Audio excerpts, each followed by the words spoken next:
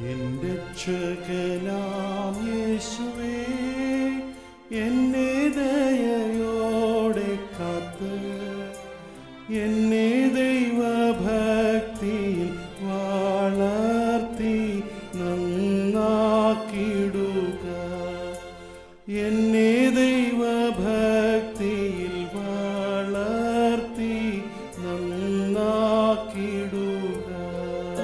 ദൈവ തിരുനാമത്തിന് മഹത്വം ഉണ്ടായിരിക്കട്ടെ.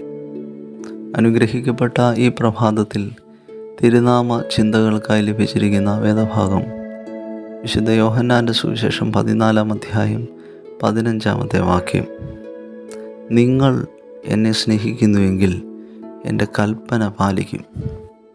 ക്രിസ്തുവിനോടുള്ള സ്നേഹത്തെക്കുറിച്ചാണ് ഈ വേദഭാഗം ഈ വാക്യത്തിൽ പ്രത്യേകമായി ഊന്നി പറയുന്നത്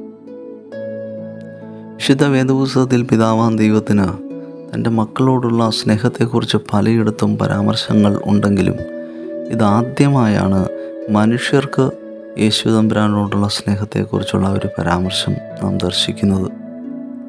അതായത് ഒരു പ്രതിസ്നേഹം. ദൈവം തമ്പുരാൻ നമ്മളിൽ നിന്നും ചിലതൊക്കെ പ്രതീക്ഷിക്കുന്നുണ്ട് എന്നർത്ഥമാക്കുന്നു.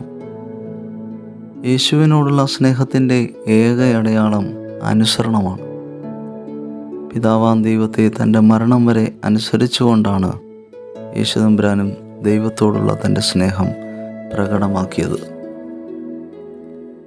യേശുവിനോടുള്ള നമ്മുടെ സ്നേഹം എത്ര വലുതാണോ അത്രയും സമ്പൂർണമായിരിക്കും ദൈവത്തിന് നമ്മളോടുള്ള കരുതലും. ഹോശയ പ്രവാചകന്റെ പുസ്തകത്തിൽ പതിനൊന്നാമത്തെ അധ്യായം അവിടെ ദൈവസ്നേഹത്തിന്റെ സുന്ദരമായ ഒരു ചിത്രത്തെപ്പറ്റി ദൈവം നമ്രാൻ പ്രവാചകനോട് പറയുന്നു. ഇസ്രായേൽ ശിശുവായിരുന്നപ്പോൾ ഞാൻ അവനെ സ്നേഹിച്ചു. ഈജിപ്തിൽ നിന്ന് ഞാൻ എന്റെ മകനെ വിളിച്ചു. ഇസ്രായേലിനെ നടക്കുവാൻ പഠിപ്പിച്ചത്. അവന് കുനിഞ്ഞ് ആഹാരം കൊടുത്തത്. കയ്യിലെടുത്ത് ലാളിച്ചത് എല്ലാം ഞാനാണ്. എന്നിട്ടും ഇസ്രായേലോ എന്നെ ഉപേക്ഷിച്ചു പോയി ഇന്ന് നമ്മുടെ വ്യക്തി ജീവിതത്തിൽ ഈ ഒരു സമ്പൂർണമായ അനുസരണഭാവം നിവർത്തിക്കുവാൻ നമുക്ക് സാധ്യമാകുന്നുണ്ടോ?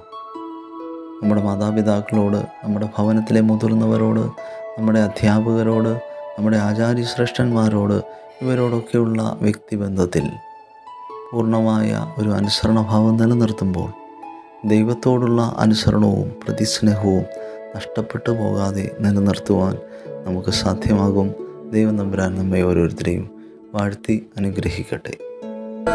ആത്മീയ ഭക്ഷണം.